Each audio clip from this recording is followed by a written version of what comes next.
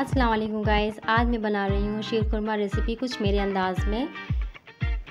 यहाँ पे mix dry fruits हैं, काजू, किशमिश, चुहाड़ा, गरी, बादाम, इलायची और यहाँ शुगर है क्रीम है, सेवई और देसी घी और रेगुलर मिल्क रेगुलर मिल्क को हम एक पतीले में डाल देंगे। डालने के बाद उसमें इलायचियाँ वगैरह डाल देंगे।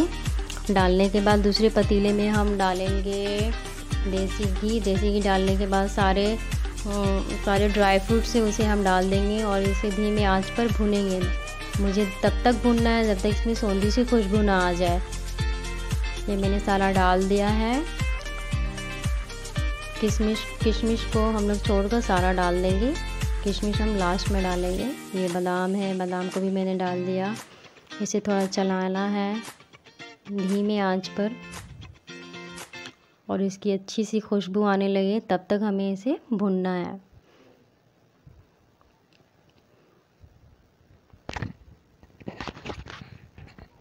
ये देखिए अच्छे से रोस्ट हो गया है। रोस्ट होने के बाद हम इसे निकाल लेंगे। प्लेट में निकाल लिया और मेरा जो मिल्क है, वो पूरा अच्छे से उबाल आने पर हम ये सारा ड्राई फ्रूट्स डाल देंगे। अब देखिए, अब मैं इसमें किशमिश वगैरह डाली हूँ और जितना भी मैंने रोस्ट किया हुआ वो सब मैंने डाल दिया है। ये देखिए, मैंने डाल दिया और इसे हम अच्छे से चलाएँगे। ये देखिए, मैंने इसे अच्छे से चलाना शुरू कर दिया है और दूसरे, उसी पतीले में हम डालेंगे थोड़ा देसी घी और सेवई। सेवई को हम एकदम धीमे आँच पर अच्छे से इसे भूनना है ताकि ये बहुत नाज़ुक होती हैं। इसे हमें धीमे धीरे धीरे इसे भूनना है क्योंकि ये जल्दी जल जाएगी, इसीलिए।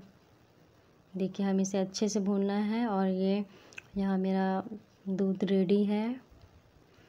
ये देखिए, बहुत अच्छे से बॉईल हो गया है। ये हम क्रीम डालेंगे। ये डेल, ये देखिए, मैंने डाल दिया।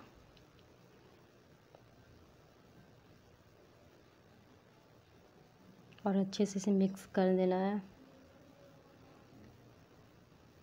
और भी जितनी भी सेवैयाँ हैं जो अच्छे से भुना गई हैं, हम उसे डाल देंगे।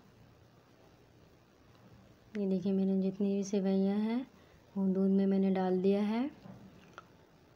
डालने के बाद हम इसे अच्छे से चलाएँगे।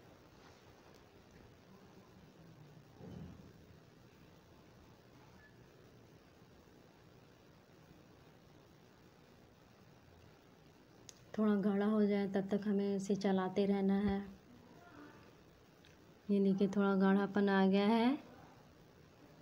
और हम डालेंगे लास्ट में हम डालेंगे शुगर आप अपने टेस्ट के अकॉर्डिंग शुगर डालिएगा।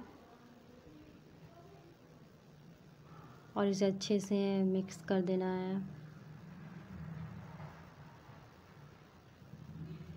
थोड़ा गाढ़ा होने होने तक हमें इसे चलाते रहना है।